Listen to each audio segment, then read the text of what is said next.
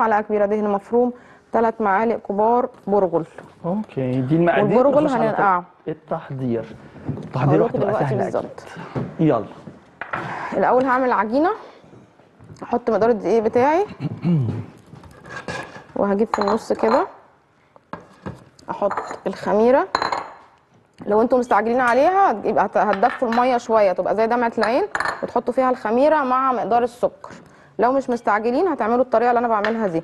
وما تحطوش الملح على الخميرة عشان الملح بيموت الخميره بنحط السكر الأول وبعد كده بنبدأ نعجن. هنحط شوية مية وشوية لبن بالتبادل. وهنعوز الزيت.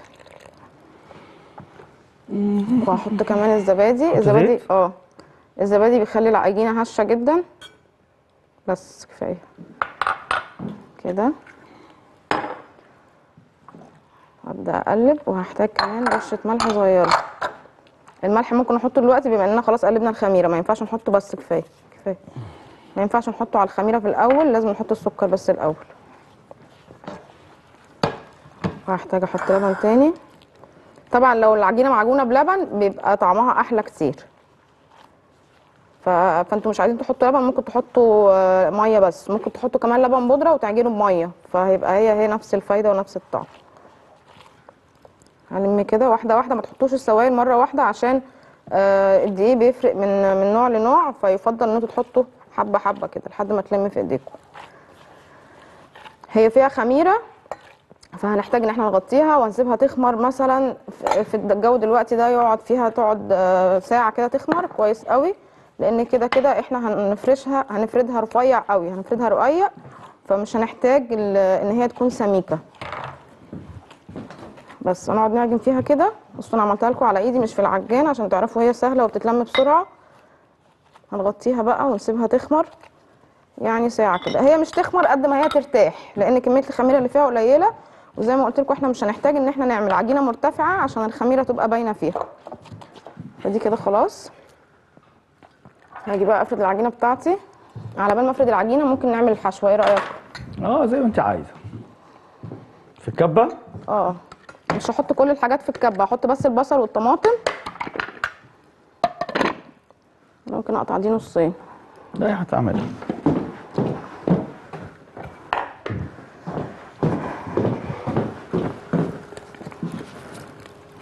يلا. عشان بس الراس بتاعتها عشان دي مش بتتفرم بسهولة.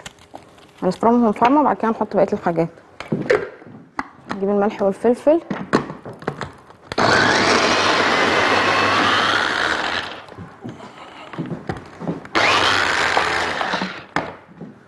عليهم. آه أحط بقى الفلفل فلفل حراق وفلفل رومي. البرغل بقى هنا. أنا نقعاه في شوية مية. ولازم نعصره كويس قوي. ثلاث معالق كبار برغل بيعملوا كمية كبيرة. فاحنا هنعصره كويس قوي كده عشان المية دي لو نزلت في العجينة هتخلوها هتبقى فكة معاكم وهتبل العجينة بتاعتنا ومش هتخليها تقفل. أنا كده حطيت معلقة. ثلاث معالق برغل منقوعين مش ثلاث معالق برغل قبل النقع. لأن قبل النقع هيعمل آه، أكتر من نص كوباية. فإحنا هنعاير ثلاث معالق كده زي ما أنا عايرت. ونتأكد انهم مفيهمش مية خالص. وهنحطهم كده.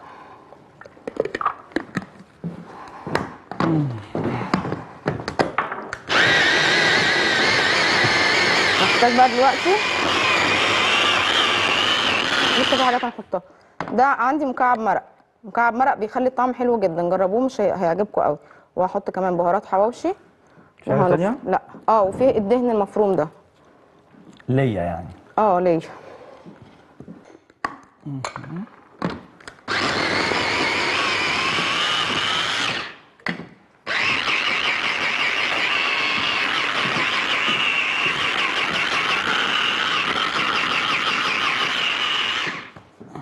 أنا دلوقتي هفرد العجينة.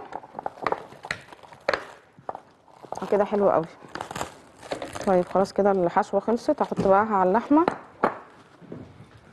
بم بم بم بم بم بم بم بم. وهحط عليها الحشوة. الحشوة دي المقدار الخلطة دي يعمل لنا كيلو لحمة. وهقلب كده.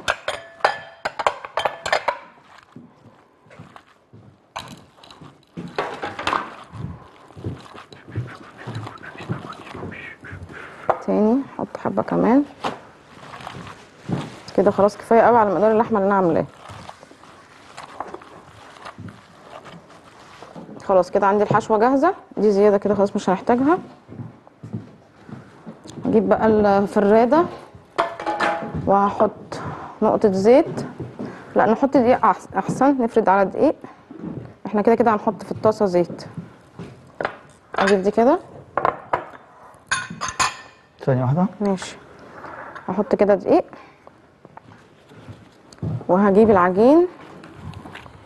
العجينة اللي إحنا قلنا مقاديرها دي تعمل آه، من عشرة من تمن لعشرة رغيف على حسب حجم الرغيف اللي أنتوا هتعملوه. أوكي كده أهو. هنحط شوية زيت في الطاسة. شوية صغيرين معلقتين كده أو ثلاثة وهفرد. بصوا بقى الحواوشي المعتاد الإسكندراني بنحط طبقة وحشوة وطبقة تانية. أنا هعمله لكم النهارده بطريقة سهلة قوي. وتدي نفس النتيجة برضو. محتاج حبة دقيق تاني صغيرين عشان ما تلزقش.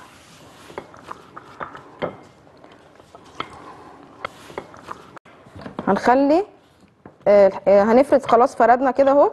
هنيجي بقى عند الطروف وهنفردها هي أكتر. هنرقها خالص. مش هنفرد تاني في النص.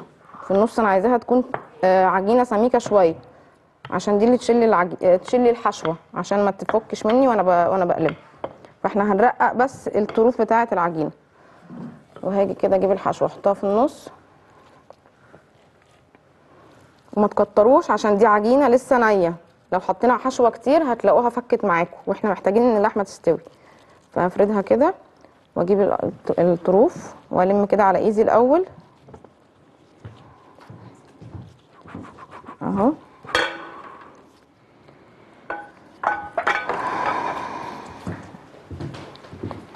دي مش هنحطها في الفرن؟ لا تستوي على البوتاجاز. okay. وهاجي ألم شوية العجينة الزيادة دول. إحنا أنا عشان كده عملتها آه، رققتها. فلما نفردها هنلاقي عجين زيادة يستحسن إن إحنا نشيله. وهدوس عليها تاني كده بإيديا. بس أدي كده اتفردت أهي. دي أسهل كتير من إن إحنا نقفلها والتانية ما تبقاش مضمونة ممكن تفتح مننا في ممكن تفتح مننا في في النار. فهنزلها كده في الطاسة وهي هنا هروح فردها تاني. وهي هنا هقعد افرد كده في الطروف بتاعتها تاني. عشان كده قلت لكم الحشوة لازم تبقى قليلة عشان تستوي معانا وعشان ما تفكش والعجينة تلاقوها شربت السوائل اللي في الحشوة وتطرى معانا. خلاص هنسيبها. بقى كده على كل ناحية. ثلاث دقايق مثلا ونقلب. سلطة البنجر؟ سلطه البنجر. يلا يا أول ولاد حاجة عندي نص كيلو بنجر مسلوق بصلة حمراء متقطعة جوانح كوباية بقدونس مفروم وللصوص 3 معالق كبار مستردة معلقتين كبار دبس رمان معلقتين كبار عسل أبيض. مقاديرها سهلة جدا وبسيطة خالص وفي نفس الوقت طعمها حلو وشكلها حلو وفوائدها كتيرة جدا. عايزة نجيب إيه؟ بولة. مضرب سلك. ما جبتش. هنعمل التتبيلة الأول. وهجيب شوية شوية زيت وملح وفلفل. إحنا آه، في البيت أنتوا هتسيبوها على, كل ناحية ثلاث دقايق وعلى نار متوسطة. عشان العجين عشان الحشوة اللي جوه اللحمه تستوي معانا. أوكي؟ فهحط ملح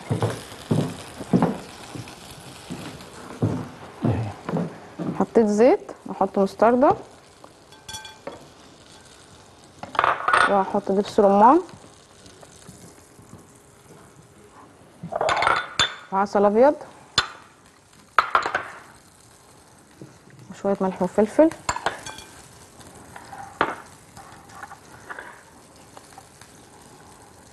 يلا هخليها دي هقلب بيها دلوقتي وهقلب التتبيلة. البنجر بنسلقه إزاي؟ البنجر بن... بنغسله ونسلقه زي البطاطس كده بقشرته زي ما هو سليم ما يتقطعش. وبعد كده وهو سخن لازم وهو سخن كان نفسي اوريلكم يتقشر بس ما ينفعش. لو سبته يبرد القشرة بتفضل لازقة عليه ما بتطلعش. وهو سخن أول ما تطلعوه آه، تسيبوه يهدى شوية بس عشان ما تتلسعوش وبعد كده هتلاقوا القشرة بتتزحلق من عليه لوحدها. بسهولة جدا. مش هتهدر منه ولا أي حاجة زي لو قشرتوه وهو ني غير إن أنتوا لو قشرتوه وهو ني هينزل كل اللون والفايدة بتاعته في المية. فإحنا بنقشره وبعد كده بنقطعه التقطيعه اللي إحنا نحبها بقى. شرايح كده آه، صوابع مربعات مكعبات. فبراحتكم أنتوا بقى. خلاص دي مش هحتاجها تاني. حطيت البنجر والبصل الأحمر والبقدونس. وخلاص كده. خلصنا الحاجتين. والسلطة دي من السلطات اللي لما تتركن لما بتقعد شوية ساعة مثلا قبل ما ناكلها بتبقى طعمها أحلى.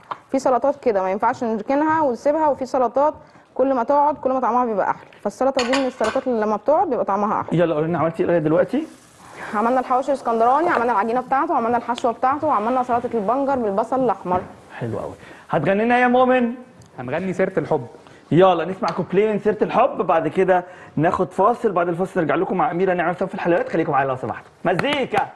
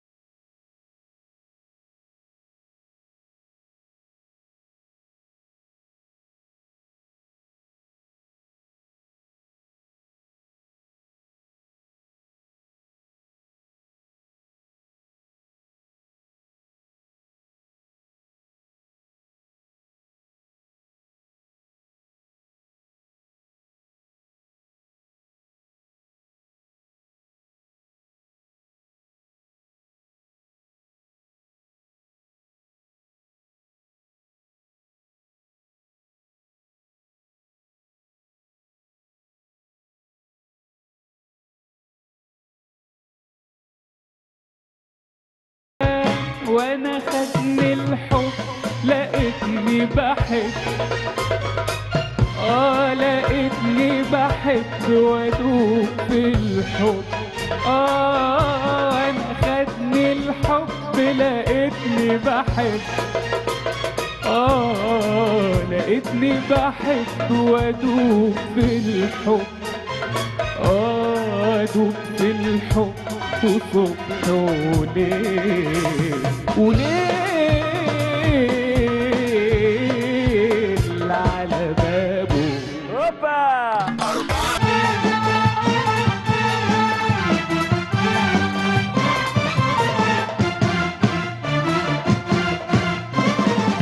نعمل لكم صنف حلو إسكندراني برضو مظبوط؟ اسمه إيه بقى؟ هريسة. يلا المقادير. يلا أول حاجة عندي نص كيلو دقيق سميد نص كوباية جوز هند نص كوباية دقيق أبيض كوباية لبن دافي كوباية سمنة دافية كوباية سكر معلقة صغيرة baking powder ورشة فانيليا. أو آه، ربع معلقة صغيرة فانيليا بالتحديد يعني. للحشوة نص كوباية سوداني مجروش نص كوباية زبيب أربع معالق آه، كبار شربات تقيل. هنسقيها بقى شربات بعد ما تستوي الشربات بيكون تقيل هو كوبايتين سكر وكوباية مية وعصير نص ليمونة ونص معلقة صغيرة فانيليا وللتزيين بقى زي ما أنتوا تحبوا كده تعملوا آه، جوز هند شرايح آه، زبيب سوداني اللي أنتوا عايزينه. يلا. بصوا هي زي البسبوسة ملهاش ترتيب. يعني دي من الحاجات السهلة ملهاش ترتيب. أنتوا بس التزموا بالمقادير هتطلع لكم مظبوطة إن شاء الله. حطيت دقيق السمين واحط الدقيق الأبيض واحط البولة دي أنا هحتاجها. دي هحتاجها. واحط السكر. أوكي. واحط ال baking powder baking powder واحط الفانيليا هنحط رش... آه آه، إحنا ح- خلاص الشربات مش هنعمله. الشربات زي ما قلت لكم اعملوه هي تبقى سخنة ودي زي البسبوسة بتتسقي والشربات سخن وهي سخنة. بس ما بتغط ما بتتغطاش. البسبوسة بتتسقي هي سخنة والشربات سخن وبتتغطى. الهريسة بتتسقي هي سخنة والشربات سخن بس ما بتتغطاش. ماشي. هنقلب كده. وهروح حاطة اللبن. اللبن يكون دافي شوية زي اللبن الخميرة كده. وكمان السمنة دافية زي ما أنتم شايفين كده. وهنقلب. يلا. دي بقى هنخليها هنا عشان هنعمل فيها الحشو. هقلب كده اهو. مش هنحتاج ندهن الصينية ولا حاجة لأن إحنا كده كده هنسقيها شربات وهي كمان فيها كمية سمنة حلوة. فمش هنحتاج إن إحنا آه نقلب نحط آه ندهن الصينية. ممكن كمان نحط هنا دلوقتي شوية جوز هند. الإضافة دي حلوة وبتميز الهريسة جدا. حبة كمان ونخلي دول للحشو. وهنحط كمان شوية سوداني هنا. صغيرين لأن إحنا هنعمل طبقة في النص عبارة عن الحشوة اللي قدامكم دي بعدين؟ وهنقلب كده لحد جوز الهند ما يختفي فيها. هي مشهورة الهريسة طعمها المميز بجوز الهند. فاللي بيحب جوز الهند هي... هيعجب جدا بالوصفة دي. هننضف كده المضرب. ونجيب القالب. وهنجيب القالب. احتاج بس إن أنا ألبس جوانتي عشان أعرف أفردها. بصوا قالب أي قالب عندكم. بس قالب يكون حوافه عالية زي ده كده. عشان ما يقلش من ده لأن هي إحنا حاطين فيها بيكنج باودر فهترتفع شوية. فهاخد نص المقدار. إحنا قلنا في حشوه هنحطها في النص فعشان كده خدت نص المقدار. هفرده كده. أوكي. وهنعمل له حواف. عشان إحنا مش عايزين الحشوه تطلع منه وتتحرق فعشان كده إحنا عاملين له حواف. بعدين نحط السوداني وبعد كده هنعمل الحشوة الأول على بعضها بعد نحطها في آه النص. مع بعض؟ آه هحط كده السوداني والزبيب وجوز الهند وشوية شربات تقيل اللي إحنا هنسقي بيه في الآخر عشان يربط لي بس الحاجات في بعضها. كده؟ وهحطها في نص العجينة بتاعتي. كده؟ زي ما اتفقنا أي حاجة هتخش الفرن الفرن لازم يكون متسخن قبلها. فإحنا هنتعامل معاها معاملة أي حاجة تانية عادية تخش الفرن مش عشان هي حاجة حلويات. هندخلها الفرن على الفرن متسخن هتقعد آه، بالظبط من 30 ل 35 دقيقة على حسب درجة حرارة الفرن بتاعتكم وبعد كده هنطلعها نسقيها بشربات تقيل سخن ونسيبها ما نغطيهاش. مش هنغطيها زي البسبوسة. خلاص؟ بس كده؟ بس كده. أوكي. هتطلع بالشكل ده. بالشكل ده. طب قولي الناس عملنا إيه كده؟ عملنا النهارده الحواوشي الإسكندراني العجينة والحشوة وعملنا سلطة البنجر وعملنا كمان الهريسة الإسكندراني. ميرسي أميرة. شكرا. ليكي. بعد الأكلات الحلوة دي خلونا نشوف فاصل وبعد الفاصل نرجع لكم مع كابتن علي خميس يقول لنا إزاي آه، نشيل الكرش على قد ما نقدر. خليكم معانا لو سمحت.